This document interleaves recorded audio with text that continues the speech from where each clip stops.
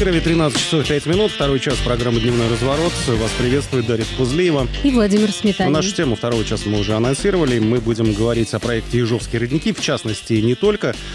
А у нас в студии находятся гости. Подробно, надеемся, расскажут нам они о своей деятельности и о работе не только в рамках этого проекта. Есть у нас полчаса с небольшим. Представляем наших гостей. Владимир Селезенев, учредитель некоммерческой организации «Здоровье нации 21 век». Владимир, добрый день. Э, добрый день. Пожалуйста, ближе к микрофону, не стесняйтесь. Он нужен для того, чтобы все нас слышали. Вас в том числе, да. И еще один гость, Сергей Лутошкин, руководитель проектов Организации здоровья нации 21 век. Добрый день. Поближе настаиваю все-таки к микрофону, да.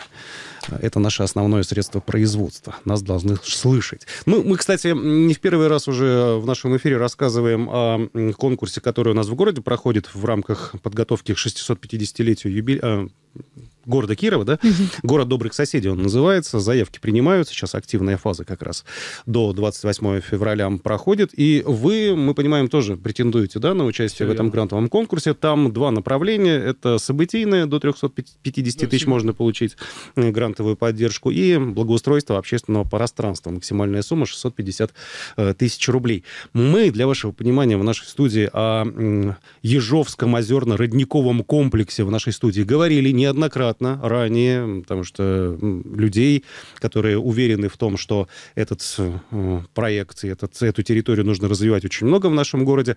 У вас как-то идеи по развитию данной местности, они стыкуются с другими общественными активистами? Да, абсолютно верно. Поближе еще к микрофону. Наш да. проект угу. Ежовские родники, угу. вот тот проект, с которым мы сейчас заявляемся на конкурс, он является частью единого целого, вот то, о чем вы сказали, а, а, значит, э, он включает в себя Ежовский парк. Угу. Там будет э, э, ленточный парк, в том числе пешеходная велосипедная зона, да, которая будет соединять Гагаринский парк и Нижнюю набережную посредством вот в большом проекте предусматриваться строительство лестницы, соединяющей Воровского один и береговую линию Ежовского озера. Угу. Потом будет э, построен... Там спуск большой.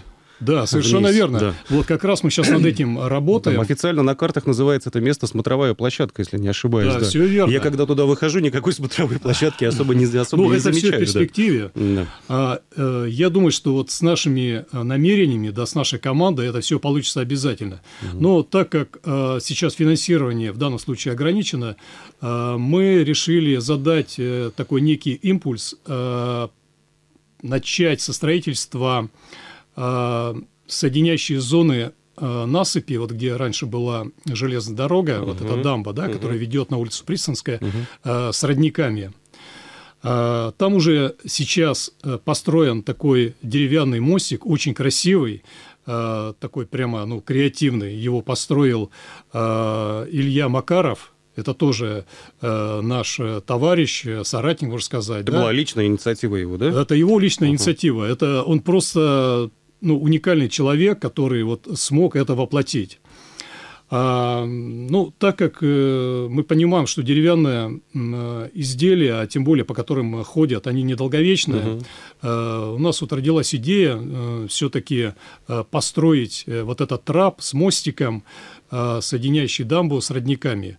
Но то изделие... То есть капитальный трап, он капитальный будет, он трап, не деревянный да, будет, да? Он металлический. Угу. Мы сейчас а, разработали сметную документацию, а, сделали такой эскизный проект, а, визуализацию, да, что мы позиционируем в нашей презентации. Угу. Вот. А старый мостик мы обязательно сохраним, потому что он настолько уникален, это вот, ну, как картина маслом. Вот. И вы правильно заметили, да, мы работаем э, в составе огромной нашей команды, огромной семьи. Это и э, Ксения Логинова, это и Светлана Кекина, это Александр Ливанов. Угу. Это и многие-многие другие ребята, которые, ну, я бы не сказал, что здесь кто-то в передовиках, мы все вместе, у нас э, такое, такая команда мировоззренческая. И вообще вот... Которые э, уверены в том, что действительно этот природный объект, он достоин того, чтобы Абсолютно. выглядеть знаете, намного лучше. Да, угу. вы знаете, вот э, мало кто знает в городе, что у нас в центре в старой части города существует вот такой, такая жемчужина природная, потому что здесь много деревьев, здесь много каких-то там растений уникальных, здесь много, здесь озеро, ручьи, вот эти родники. Угу. И если взять историческую справку, мало кто знает, что истоки нашего города, Вятки, начинались именно отсюда, потому что первая водокачка, она находилась как раз на склоне горы Кикиморская. Э, в этом месте, еще когда не было электричества, э, водовозы возили на Э, лошадях, на повозках воду и развозили по домам угу. города ну, как раз, по-моему, Воровского один, по-моему, там она где-то да, там была улица Кикиморская, да, угу. она, а сейчас она называется улица Водопроводная. Именно вот честь того, да, что первый водопровод был именно здесь. А, к нам Вода приезж... как символ жизни, да, Абсолютно. Все вот от, отсюда она Все появилась. начинается от родника. Угу. От родника, потому что само слово, вот э, изучая наш русский язык, угу. род, родина, родные, родник, все идет оттуда. И поэтому это должно быть э, местом притяжения. А, вот, и для этого, для этого мы решили вот угу. создать и реализовать вот этот проект. А вообще, в принципе, эта территория, туда раньше-то касались руки-то человеческие в плане благоустройства. Что-то делалось, не знаю, если вспоминать то же самое советское время. Хоть когда-то. Да, хоть, хоть когда-то. Ну, вы знаете, когда вот была водокачка, угу. я не знаю, до которого времени, э, я точно не знаю, там, когда ее закрыли, там, 80-е э, годы. Или чисто в практическом смысле ее использовали, да? Вот да, того, ее чтобы... использовали, качали воду, угу. когда население э, нашего города было небольшим, потребности покрывались этой водокачкой. А потом а, город стал разрастаться, и, соответственно, а, не хватило вот этой воды, этих родников, и там перенесли водозабор уже в другое место. Угу. Но вот это место, да, оно является уникальным еще и с точки зрения, ну, уникальность э, в чем заключается? В том, что, я уже э, говорил, это город, это природа, природный такой комплекс, который находится в центре Старой Вятки. А, с точки зрения а, места притяжения а, наших гостей и жителей нашего города, да, то есть здесь место для проведения каких-то таких мероприятий, экскурсий с детьми, со взрослыми. Взрослые немногие угу. знают, где что находится у нас. И также, если мы это все благоустроим, а, я считаю, что это будет мощнейшим местом притяжения для туристов. Это такая туристическая тропа будет, угу. которая будет соединять а, Гагаринский парк и Нижнюю набережную если мы это все реализуем. Угу. Ну вот смотрите, сам я проект. Даже, я бы даже да, добавил, Сергей, что, да, Сергей да, да. добавил, что у нас в рамках проекта мы уже договорились с Кировским зоологическим музеем, и оказывается, что они а, организовывали уже экскурсии экологические а, в том направлении, в направлении Ежовского озера, да, и они готовы а, также включить вот этот объект в свои мероприятия, да, в рамках своей деятельности. И также Центр детского и юношеского туризма, да, он тоже нас поддержал в этом проекте, и также они готовы в свои маршруты туристические угу. включить а, данный объект. Ну, то есть это то самое место, где вот прекрасным образом можно лицезреть эту живую природу. Да, да. все, верно. Наяву, и, да, и не, не надо за, не на, не 20, на картинках. За 20-30 километров угу. куда-то ездить от города. Вот он прямо здесь. Это получается такой исторический, экологический маршрут, который, в принципе, может там начинаться, например, где-то в районе филармонии, да, потом идти там к Трифоновому монастырю и туда вот ниже к Ежовскому озеру, Э, вот, и заканчиваться там у Старого моста, к примеру, да, то есть если все это будет закольцовано, как вот э, в большом проекте э, у нас значит, запланировано было, да, вот, то это будет такой пешеходно-туристический, экологический маршрут, где вот люди могут не, не, не уезжая, да, вот э, из города, не выезжая там, ну, не тратя какое-то время свое, да, вот они могут прямо спуститься вниз и насладиться природой, вот, э, здесь же отдохнуть, посмотреть эти родники, э, вот, и, ну, просто как бы хорошо провести время. Uh-huh, uh-huh. Ну, вот смотрите, да, то есть вот то, что сейчас описываем, мы, это достаточно обширный проект, то есть да. это то, что вот уже где-то в обозримом, в обозримом это будущем такой, хотелось Это бы большой видеть... социальный да. проект. Поближе, Если- поближе к микрофону. Если мы говорим конкретно о конкурсе, который к 650-летию Кирова, то есть вот эта часть а, проекта, она подразумевает какой участок, да, и на каком участке какие именно работы а, хотите провести. А, ну, Ну, я вот смотрю, вот у вас, Сергей, там какие-то у материалы. меня- Это... У нас презентация, Презентация. есть, да. Она, с- кстати, с в этой- открытом доступе есть в Да, интернете? да, у нас, у нас на, а, на, посмотреть. на нашей страничке ВКонтакте а, может, можно набрать а, Здоровье ВКонтакте «Здоровье нации 21», да, вот и попадете на нашу страничку ВКонтакте, там как раз выложен вот этот весь проект, а, презентация наша, да, визуализация вот этого проекта, то есть как Мгм. это примерно будет выглядеть. А, И также там у нас э, сделан опрос жителей, э, то есть э, можно проголосовать э, за или против нашего проекта. А, вот как раз мы сейчас будем, да, с Дарьей заходить. Да, Да, да. вот. И э, вот в рамках проекта «Ежовские родники» как раз э, планируется несколько мероприятий. То есть это, во-первых, э, очистка э, береговой линии Ежовского озера. Э, то есть это очистка... Всей от- береговой линии. Ну, прак- э, я думаю, что оно, видите, оно, оно длинное, да. Вот, то есть Ну вот. все, э, всей, э, вся береговая линия, то есть нам, конечно, не Ну, там масштабная не объя- территория, это- это- безусловно, Да, это масштабная Мгм. территория, да, Мгм. то есть тут, конечно, нам в рамках этого проекта никак это не сделать, да, ну хотя бы вот э, какой-то клочок, который, э, где планируется вот, ну, то есть это начало как раз э, озера, Мгм. вот, практически э, под телебашней, если вот так э, территориально, да, Мгм. смотреть, от Кикиморской горы до телебашни, примерно вот этот, Мгм. вот этот участок, да, э, мы планируем э, очистить, то есть провести субботник. У нас также э, на нашей страничке есть э, регистрационная анкета, да, то есть любой желающий может э, заполнить ее и, э, значит, э, поучаствовать в нашем проекте. Вот, э, Каким образом можно поучаствовать? Поучаствовать можно любым образом. Можно, э, когда будет субботник, да, можно прийти Мгм. просто э, руками э, поучаствовать своим Трудом. своим ресурсом, Трудом, да, своим да. трудом. Лимиты, Можно ну, финансово понятно. поучаствовать, можно материально поучаствовать. То есть это уже будем обсуждать в, в процессе, в процессе как бы реализации Мгм. проекта. Вот. То Но есть это, видимо, вот это активные работы уже начнутся после того, как снег сойдет. Уже, Ну да, то когда? есть это где-то апрель месяц, как снег сойдет, и э, пока еще не выросла э, кустарник, там растительность, трава, да, вот высокая, то есть где-то вот э, ап- апрель-май месяц. Вот А это- весной, кстати, как эта территория выглядит? Это же все-таки низина. А насколько там много воды? Э, Можно ли там вообще к активной этой фазе приступать работать? Ну, в конце Да. апреля Мгм. уже вода спадает. Э, Там перепад между озером и рекой Вяткой, ну, достаточно большой, где-то порядка там 5 метров по Мгм. геодезии. То есть это защищает э, Да, от, от защищает затопления, подъем от воды. Я думаю, что Мгм. вот уже в конце апреля там а, вода, она уже к минимуму равновешивается. Ну, покуда мы там находимся, буквально там в 300 метрах от этого Ежовского озера, наше Мгм. предприятие, и мы постоянно там уже на протяжении многих лет Мгм. проводим мероприятия по чистке. Вот и прошлый год э, также принимали участие э, в субботнике.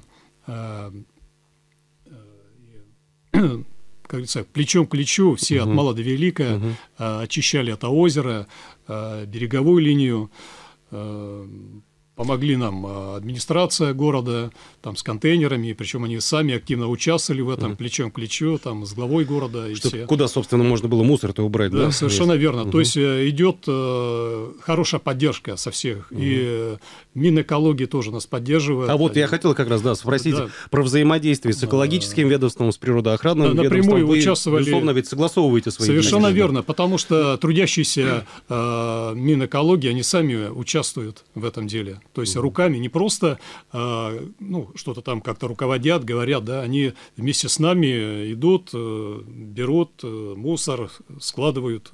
Вот. Также и э, кроме администрации, много других э, предприятий мы привлекаем, ну, я не буду сейчас рекламировать какие, да, но э, идет активное участие. То есть это место, оно будет являться, наверное, ну, таким центром притяжения города. Еще. А вот вообще, да, размышляя о будущем этой территории, да, рождая, генерируя да, конкретные образы, конкретные объекты, вы где вообще вдохновение-то черпаете? Вы где-то это подсмотрели или все у вас так вот абсолютно произвольно берется в совместном обсуждении в том ну, числе? Вы, вы знаете, То есть- нечто в похожем виде уже в России есть, вот что-то такое подобное, или это наш абсолютно уникальный проект? Это уникальный проект. Да. Вы знаете, вот э, нам посчастливилось э, общаться с людьми э, из центра Зепа Хельцера, мы приглашали два года назад, ну, если кто не слышал... Угу. Ну, поясните, пожалуйста. Да, Зеп Хельцер угу. – это такой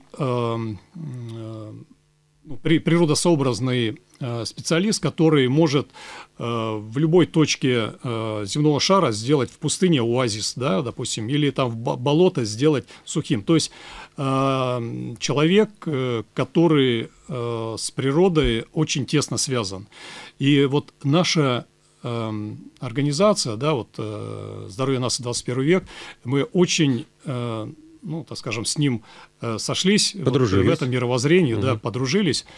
И, и они совершенно бесплатно нам э, сделали такое, такую визуализацию, да, э, помогли нам, э, ну, объяснили, как нужно э, родники сводить угу. в ручейки, да, там, ну, такие технические моменты. И они еще раз подтвердили, подтвердили наше намерение, да, сказав, что, вы знаете, у вас в центре города просто жемчужина. Подобного ну, мы нигде, ни в каком городе прошу не видели. прощения, перебью, да, сразу, вот mm. если немного о самом озере поговорить, да, насколько оно вообще большое, то есть требуется там какое-то углубление, чистка а, Ежовская, дна, то есть Да, очень хороший вопрос, очень хороший. Вы знаете, вот если посмотреть фотографии Лобовикова еще 19 века, да, а, на этом месте было русло реки Вятки. Угу.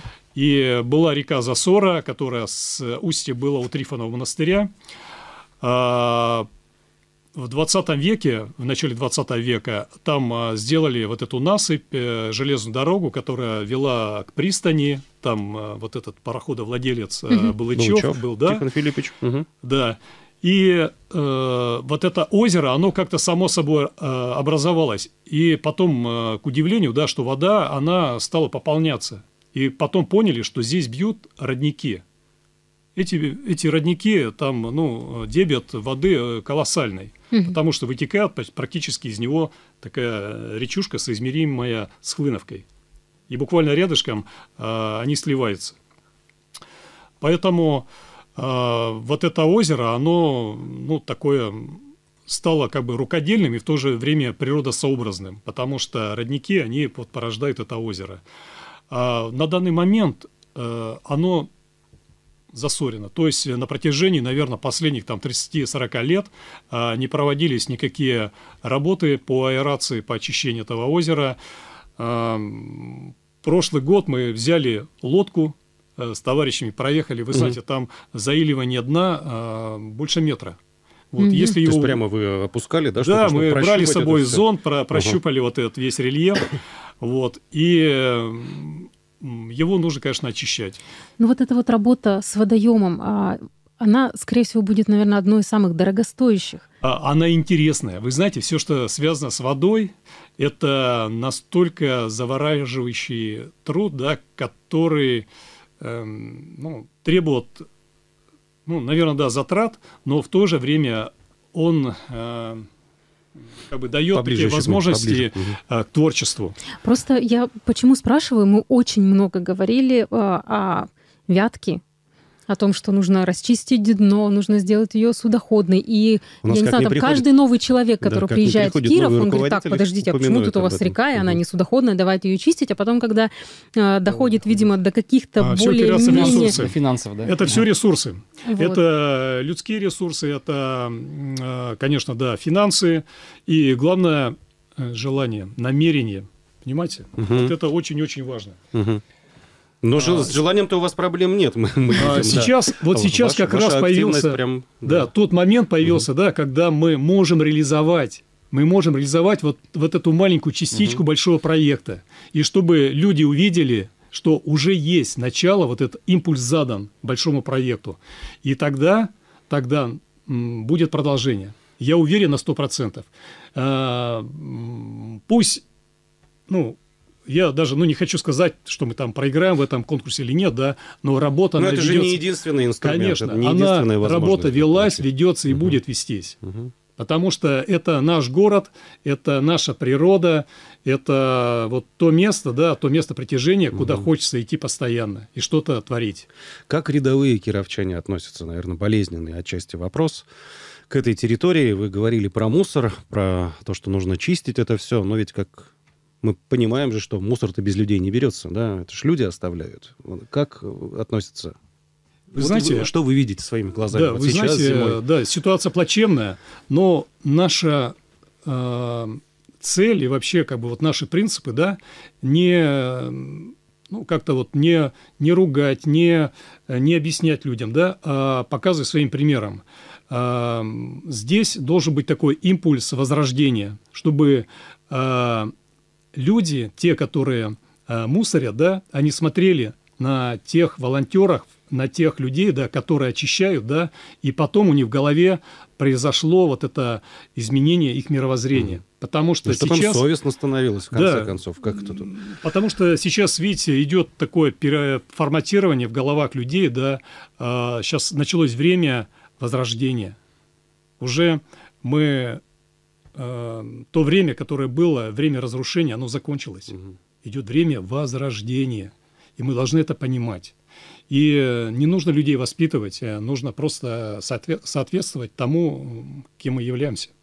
По вашим оценкам, не знаю, скромным оценкам, сколько времени должно пройти, чтобы в реальности эта территория выглядела вот так, как у вас в концепции зафиксировано, что для этого потребуется? Обозримое ли это будущее или все-таки такая Есть какие-то, возможно, финансовые прикидки, во сколько да, может ресурсы, вообще да, ресурсы у нас есть, да, основные ресурсы, да, это наши руки и наши головы. Угу. Это э, тот интеллектуальный потенциал, который у нас есть. Сергей, он экономист, он бухгалтер, я инженер. То есть наша задача структурировать. В последнее время, на протяжении пяти лет, э, много говорится об этом. Но когда начинаешь раскладывать все по полочкам, структура, она становится ясной, четкой. Угу. И мы сейчас э, четко понимаем, э, во что мы ввязались и какие мы имеем цели. И решения для достижения данных угу. целей. Угу. Мы знаем, как делать. Угу. В советское время был хороший опыт, вот так называемые народные стройки, да, благоустройство многих наших парков, скверов, когда просто-напросто ведущие предприятия городские, они вот кто чем, да, кто рабочей силой, кто материалами, кто техникой, вот э, помогали. Сейчас такой вариант возможен? Абсолютно. Более, более активного привлечения. Да, это да? должен быть такой э, социальный народный проект, который нужен э, для себя, для нас, для людей, живущих здесь, в нашем городе. А те, кто еще присматривается, я думаю, что они будут тоже с нами. Наш девиз «Все наши должны быть вместе». Ну, вам тогда нужно активнее заниматься информационным продвижением, в том числе. А, здесь должна быть своей деятельности. Да. Здесь очень важна консолидация. Угу. Понимаете, а, нас, живых, должно быть больше. Вот. А, если нас будет больше, мы станем сильнее. Живых душой, в первую очередь, да, вы имеете да, в виду? по мировоззрению, да? конечно. Неравнодушных. Конечно, угу. конечно, неравнодушных. Угу. И тогда мы Э, реализуем. Но сам процесс, сам процесс, он является уже приключением. То есть мы сейчас э, вступаем э, в некое приключение. То есть данная история, она настолько интересна. И если это все быстро-быстро сделать, то есть там пусть это будут там какие-то колоссальные вливания, да, кто-то там приедет да, из Москвы, это все сделает, да, и потом народ это получит, да, ну и он просто не оценит. Понимаете? Поэтому этот процесс, он творческий, который закручивает э, массы народа. Вовлекает. Вовлекает, угу. это интересно. Угу. Это проявляет интерес. Я думаю, мы, наверное, сейчас э, на небольшую... Небольшая рекламная пауза уйдем. у нас сейчас, да, должна быть. Да, смотрю на время. К середине часа мы тем самым подобрались. Я напоминаю, что у нас в гостях Владимир Селезенев, учредитель некоммерческой организации «Здоровье нации 21 век», и Сергей Лутошкин, руководитель, проект, руководитель проектов данной организации. О других направлениях да, работы организации мы поговорим уже после перерыва, так что не переключайтесь. Параллельно мы тут ищем, да, страницы ВКонтакте наших гостей. Нет, это очень важное направление. Ну, должны знать люди о ваших мыслях, о ваших стремлениях, да. Мне о том, хотелось чтобы бы еще было более немного масштабным. вернуться к тому проекту, который планируется в рамках э, вот этого года, да. То есть э, берег, э, берег, часть береговой линии э, То предстоит есть очистка, расчистить, да. очистка части береговой Еще линии. какие-то работы вот в этом А, году будут проведены? Конечно, э, то есть после субботника, да, мы планируем э, вырубку дикорос, дикорастущих э, кустарников, Ну, кустарники, там, видимо, кустарников, в первую травы, да. очередь, да, как это обычно Вот, бывает. э, затем вот в рамках местности. проекта Мгм. у нас э, запланировано сооружение э, тропы моста, который как раз соединит э, вот, дамбу, имеющуюся э, со, с родниками, чтобы можно было обеспечить доступ к родникам всем желающим. И также... Это же э, еще безопасно должно быть, да? Конечно. В обязательном порядке. то есть там будет перепад железная там. стальная конструкция Мгм. на сваях, вот, то есть ну, такое масси- масси- ма- массивное монументальное сооружение. Вот. Дальше на входе значит, мы установим арт-объект в виде арки э, с э, названием э, проекта, ну, Ежовский Ежовские родники, и также там будет написано 650 лет, Вятка, да. А, И планируется еще установка исторического стенда, который как раз расскажет об истории данного места, что здесь в 1900 году был открыт первый в- в- на Вятке во- водопровод. Мгм. Вот. То есть Плани- вот это вот такие мероприятия А запланированы. Планируется ли какая-то оценка зеленых насаждений, да? То есть вот вы что-то там планируете убрать, э, как это будет убираться в, в- в хаотичном каком-то порядке? Или Потому что мы система, знаем, или есть у нас, система да, будет, да? а, Мгм.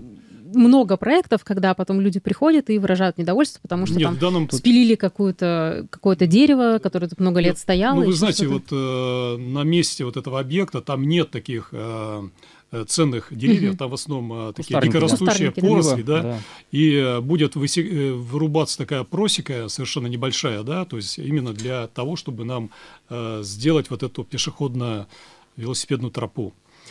Э, при Какое-то этом- дополнительное озеленение планируется или вот Да, силами тех кустарников, которые есть? Да, как я уже говорил, вот э, с нами Александр Ливанов, э, Светлана Кекина, да, которые занимаются вот этим э, природосообразным дизайном. Это специалисты в своем деле, Мгм. и они в нашей команде.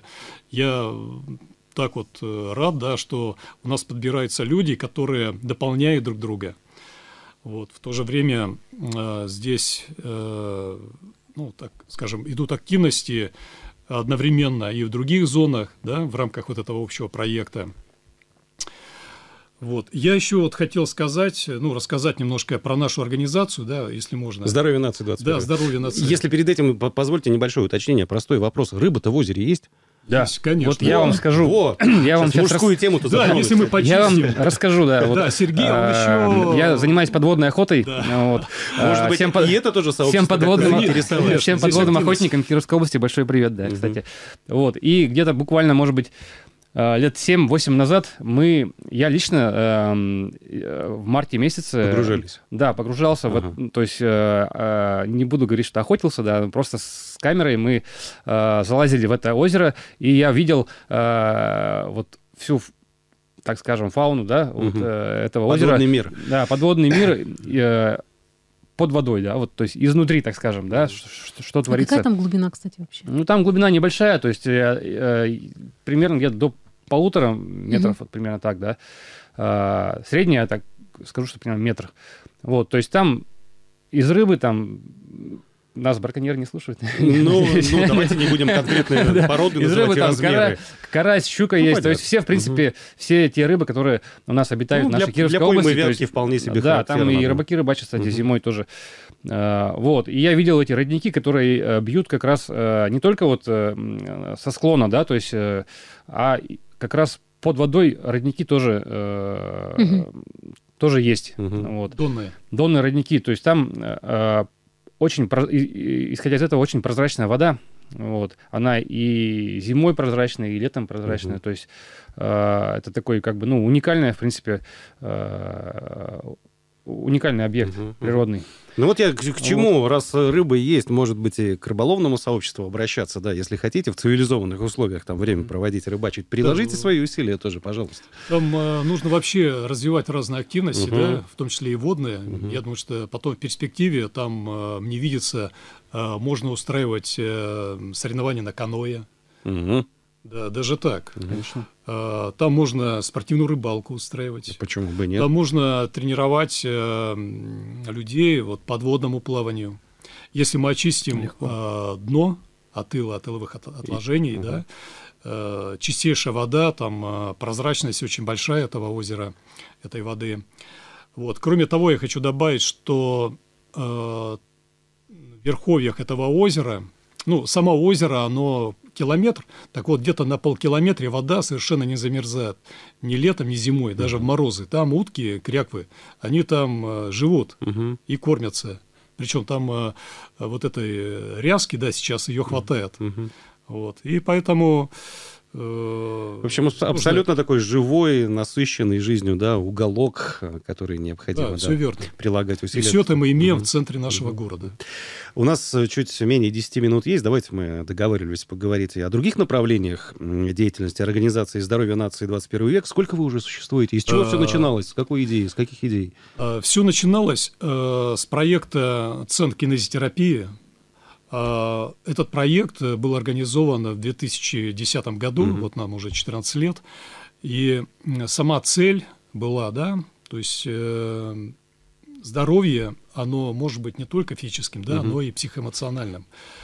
И поэтому здоровье нашей нации, да, оно как раз в этом и заключается. То есть э, экология слова, экология мысли – то здесь все взаимосвязано. Вот три направления основные. Угу. Это здоровье человека, это природа, охрана и это образование. Вот в данный момент угу. мы сейчас вот э, все эти три направления очень плотно развиваем, э, которые являются частями единого целого, неотъемлемыми. Э, ну Там... вот Сергей мы представили как руководителя проектов, вот конкретные проекты. Поделитесь, ну, пожалуйста, с нами, что, расскажу что, сейчас что, на данный, существует. Да, на данный момент мы вот Э, реализуем э, два проекта.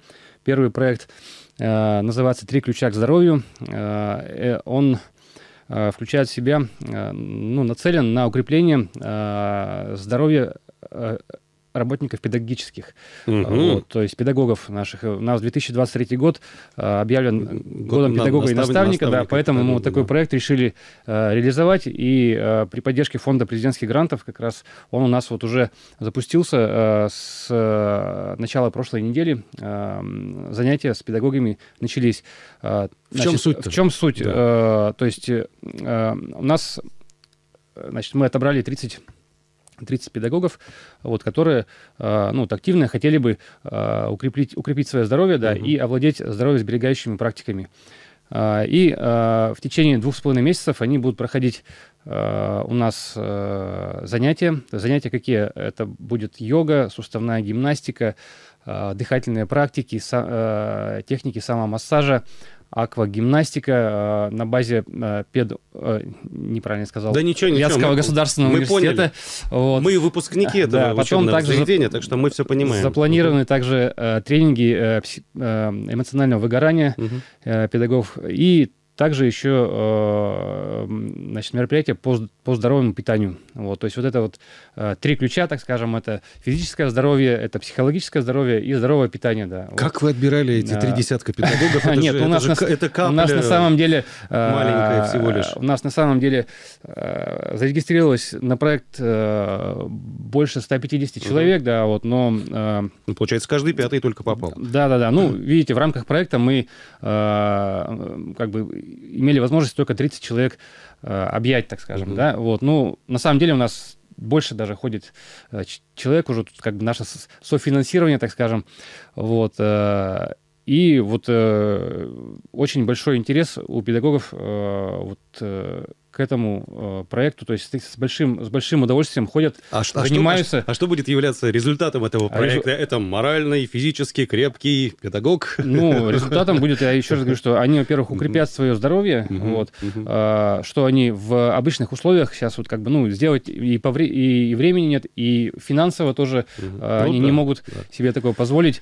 А, и также они овладеют э, практиками здоровья сберегающими. То есть они смогут в дальнейшем как бы те знания э, и навыки, которые они получат вот на нашем проекте, они смогут применять уже самостоятельно, да, вот. В общем, очень бы хотелось, чтобы строка в бюджете в городском соответствующей появилась, да, а Слушай, лучше, ну, а лучше вот в областном. Ты знаешь, например, а что лучше в, федеральном. в, в Нидерландах, например, да. при угрозе бернаута дают оплачиваемый отпуск. Угу.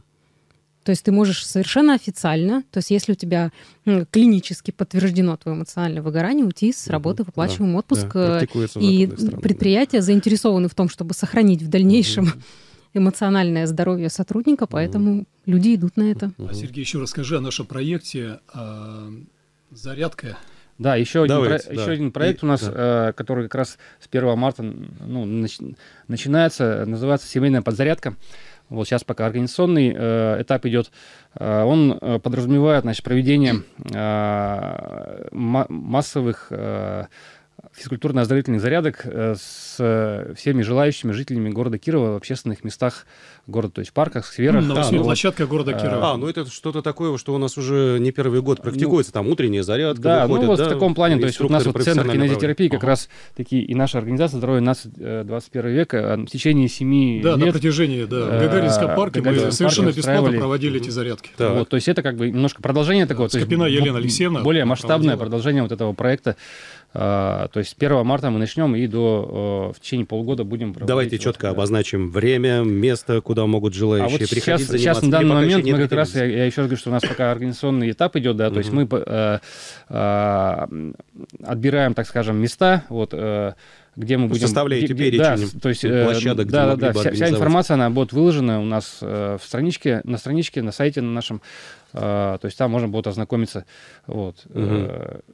Мы как-то все, Это сейчас я поймал проект. себя на мысли, мы как-то все говорим сейчас о людях взрослых в первую очередь, а на детишек у вас есть что-то такое направление? Просто так вот как раз э, это э, проект или тут, или тут семейная без... подзарядка, то есть а, они, они зарядки, да, они могут быть э, от, от нуля до угу. там 100 лет, грубо угу. говоря. Просто когда мы речь заводим о зарядках на свежем воздухе, mm-hmm. сразу перед глазами картина возникает, что там бабушки приходят. Ну и также еще, еще кстати, в рамках, приходят, да. в рамках этого проекта еще у нас запланировано 6, 6 э, образовательных э, значит, встреч, семинаров э, по здоровью сберегающим технологиям. То есть раз в месяц мы будем на базе нашего центра проводить со всеми желающими бесплатные семинары по здоровью сберегающим технологиям. И я бы еще сказал, что вот уже два таких семинара мы проводили. Э, буквально вот в январе месяце к нам приезжал очень интересный человек э, Алексей Анатольевич э, Северяков из города Гатчина, угу. Ленинградской области. Он значит, рассказывал про здоровье сберегающие технологии профессор, профессора Базарного, да, вот, и применение их в школах и детских садах по всей mm нашей стране. Вот. Э, было у нас там больше 30 участников. Э, и второй, второе мероприятие мы проводили, он же, он же рассказывал, это было в феврале месяце, в начале, в начале февраля на базе э, Вятского государственного агротехнологического университета, университета. Тоже такая лекция была для всех желающих, там и преподавателей университета участвовали, и студенты вот, и педагоги с разных школ, угу. в том числе и значит, школ области, mm. то есть не города Кирова. А, ну что, благодарим вас за визит сегодня в нашу студию. Подробно, я думаю, поговорили. Еще раз напомним, что всем, кто заинтересовался этой информацией, кто хотел бы поучаствовать и в судьбе Ежовского озерно-родникового комплекса, пожалуйста, ищите информацию о наших гостях э, в группе ВКонтакте, соответствующей да, «Здоровье нации» 21. ВКонтакте «Здоровье нации» 20, угу. 21. Э, спасибо. Мы э, сейчас будем переходить на другую тему. У вас сейчас возможность тихонечко уйти, покинуть пределы нашей студии. Мы с Дарьей будем продолжать, потому что у нас еще одна тема э, есть для обсуждения, для более подробного, для более подробной, подробного выяснения информации. Накануне появилась новость о том, что в деревне Суворовой Слободского района сложилась такая невеселая ситуация с доставкой, не, не знаю, не, не с доставкой, с возможностью с добраться. возможностью, да, добраться до школы, детских садов областного центра. Э, сейчас будем пытаться подключать э, к нашему эфиру председателя Ассоциации защиты прав многодетных семей Кировской области и сопредседателя регионального штаба Общероссийского народного фронта, это Алена Чеснокова. Ну, ведь, э... Социальные темы традиционно Алена у нас э, периодически комментирует. Да, вот одна из таких и... ситуаций. Вот ты правильно, да, заметил, что угу. одна из таких ситуаций и э, конкретно о том, чтобы добраться, да, до какого-то образовательного учреждения, она ведь э, не впервые возникает. Конечно. То есть деревня Суворова в этом плане не какая-то угу. уникальная. Угу. А, Алена Чеснокова подсказывает нам с нами уже на связи, председатель Ассоциации защиты прав многодетных семей Кировской области и сопредседатель регионального штаба УНФ. Алена, добрый день. Добрый день. Да, Ален, приветствуем вас Рас... в прямом эфире. Да, расскажите, пожалуйста, Добрый. поподробнее, что за ситуация в Суворовых сложилась, и сложилась ли она, или она, в принципе, существовала всегда? Ну, я думаю, что она образовалась не прямо сейчас. Она длится достаточно долгое время с того момента, как люди начали там застраиваться. То есть люди покупают землю, строят себе дома. Вот после разговора уже с местными жителями выяснилось, что очень многие, не выдержав вот такого ритма, когда ты не можешь, грубо говоря, отвечать за жизнь своих детей, они вынуждены были продавать эти дома, участки и уезжать все-таки угу. в Киров. Э, давайте, а, вот, чтобы... давайте уточним, да, со стороны вот это а, ваши слова о том, что люди там строят дома, это не коттеджи, да, то есть э, люди в том числе нет, и много, нет, многодетные, да, многодетные, да, это семьи. многодетные uh-huh, семьи, uh-huh. это пожилые люди, uh-huh. то есть там нет дворцов, там, ну, обычные дома, пригодные для проживания, uh-huh. там, в том числе и в зимнее время, то есть обычные дома, никаких там таких Да-да-да. прямо сверхъестественных, это не рублевка, так скажем. То есть, и, естественно, этот вот. населенный пункт, он э, вполне себе в плане наличия детей, он, он да, да, живой такой, он, да, активный. Он, же, он, да, он жизнеспособный, он разрастается, при том, что изначально там был, ну, так скажем, кусочек, где люди жили, то сейчас это разрастается на на такое на, на протяженное такое расстояние угу. и вдоль дороги, получается, с двух сторон такими, ну, кусками как бы застройки проходят, поэтому получается, что остановка ближайшая, вот э, автобус 121, который межгород, он останавливается, у него первая остановка, вот, ну, получается, ближайшая, это Порошина, а следующая уже Головизнина, то есть там расстояние очень большое.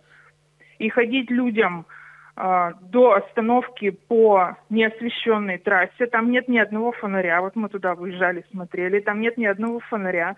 Там нет ни одного знака, например, об, ограни... об ограничении какой-то скорости. Угу. То есть а, машины, а, ну там, чтобы для понимания, там сначала идет такая извилистая дорожка в лесу, там машины все-таки немножко притормаживают, потому что, ну, не знаешь, где поворот, там все. А когда они выезжают напрямую после этого леса, они прибавляют скорость, а там уже начинаются вот как раз все вот эти вот строения. Угу. И то есть до остановки жителям приходится, э, ну как бы вот, как получается, если по обе стороны, и дорога уходит там вглубь. От последних домов до остановки примерно километра полтора-два.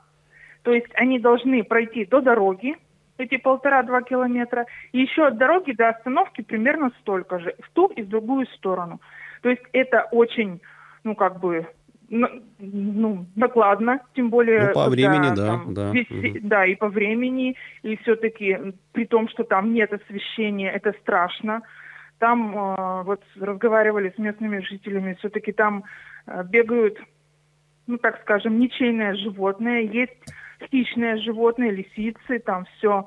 А, то есть это опасно для здоровья, для угу. жизни людей, для здоровья. А сколько... Этот вопрос никак никто не, берел, не брал на то, рассмотрение. То есть раньше, Понятно, раньше не пытались по этому деньги. поводу как-то договориться с администрацией? Хотя бы проблему как-то обозначивали перед э, властями? Возможно, Конечно, у них там целая пачка всяких ответов, отписок. Ну, естественно, что со ссылкой на отсутствие денежных средств. Но даже если бы там жило, ну так скажем, не 300 человек, а, скажем, 20, ну, какие-то человеческие это условия все равно должны быть, потому что социальной инфраструктуры на месте нет. Там нет ни одного магазина, ни одной аптеки, ни одного учебного заведения. То есть, что дети, что пожилые люди, да и вообще просто взрослые люди, они ездят на работу либо в Киров, либо в Кирово-Чепецк. Но до Кирова-Чепецка оттуда еще дальше там 50 километров в одну сторону. То есть в день 100 километров проезжать ребенку это нереально. А сколько, сколько детей-то вы с коллегами подсчитали? Сколько детей школьного возраста, которые в областной центр непосредственно ездят учиться? Ну нет, так, такой, таким вопросом мы не задавались, но угу. детей там достаточно много, потому что семьи все э, как бы прибывают и прибывают, э, семьи молодые, поэтому даже если в данной семье нет пока какого-то ребенка, они будут. Вот мы разговаривали, когда приезжали туда на место, мы с тремя только многодетными семьями там на месте поговорили. То есть э, кого-то выручает, что есть там возможность с кем-то, с соседями отправить. Э, большая проблема в том, если, например, школьники учатся в разные смены, угу. а родители оба на работе. Провожают соседи, провожают там, ну, какие-то по возможности там друзья – то угу. есть в одиночку ходить там реально страшно и опасно.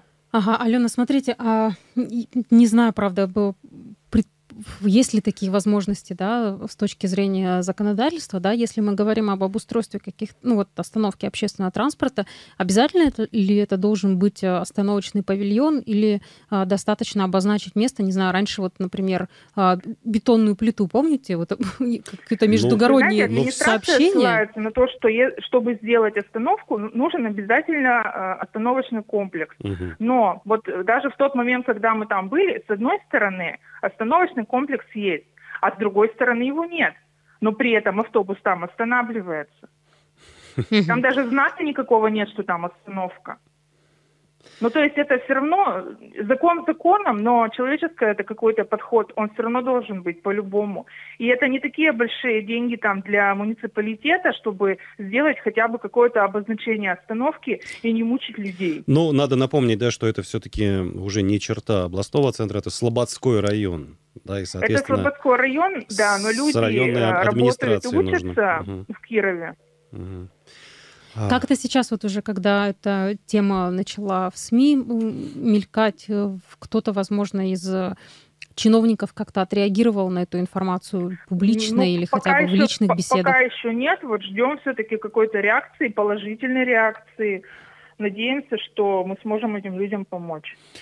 Насколько это вообще распространенная проблема? То есть вот она касается только деревни Суворовой или еще Нет, есть ряд населенных это пунктов, достаточно где? распространенная тема. Ну, к тому же все участки, например, что касается, вот, например, многодетных семей, все участки, которые им выдали, ну вот, ну грубо говоря, а, мы недавно ездили, не доезжая Радужного, господи, из памяти та, та же ситуация. Вахрина, Вахрина вообще угу. полностью э, поле выдано многодетным. Там тоже, чтобы дойти от какого-то близлежащего дома до остановки, это пара километров.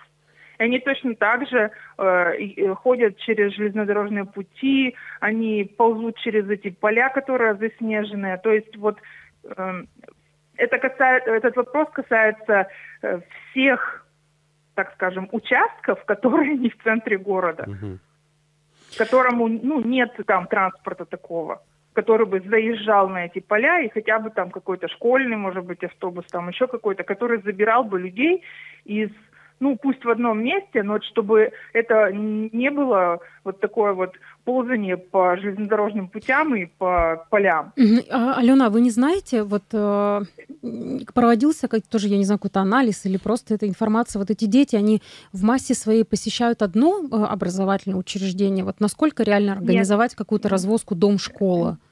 Нет, ну, к сожалению, нет, они да? посещают не одну школу, а, все-таки люди стремятся прописать там у бабушек, дедушек в городе, чтобы дети посещали. Были привязаны к конкретному городские, учреждению. Да, угу. были привязаны именно к городским каким-то школам, потому что там же и развивашки в городе. Я, я еще раз повторяю, что да, относится к Слободскому району, но до, но до Слободского ехать 50 километров ну, в одну конечно, сторону. Да. Угу.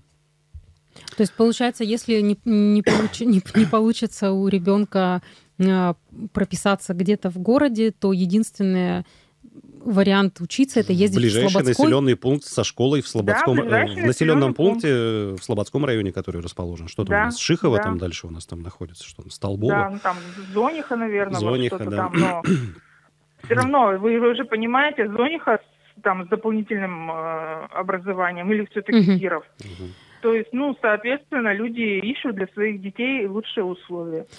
Алена, какие шаги уже сейчас СУНФ э, предпринял или еще планирует предпринять в отношении Сейчас этой мы, проблемы? нет, сейчас мы написали запрос в Министерство транспорта и обратились в прокуратуру. Ну, как, как понимаете, что у нас все-таки по закону на ответ дается 30 дней. Ага. Надеемся, конечно, что мы получим ответ раньше, но на данный момент вот так. Мгм. Спасибо, большое. Спасибо. Алена А, Чеснокова, председатель да. Ассоциации защиты прав многодетных семей Кировской области Ну, и тоже, безусловно, сопредседатель да, тоже, безусловно, будем ждать новостей, как развивается эта ситуация, но для меня вполне очевидно, как должна развиваться эта история. А, Нужно здесь мыслить стратегически, наверное, все-таки, да, раз количество жилых домов растет, Причем а, это же раз территория эти- разрастается, давайте генплан составлять какой-то, да, о При этом эти включении туда участки ведь магазинов, уже школ. выдают годами. Да, это да, не какая-то новая да. То есть история. комплексное развитие территории, вот давайте будем заранее думать. Владимир Сметанин? Дарья Тапузлиева, дневной разворот на этом завершен.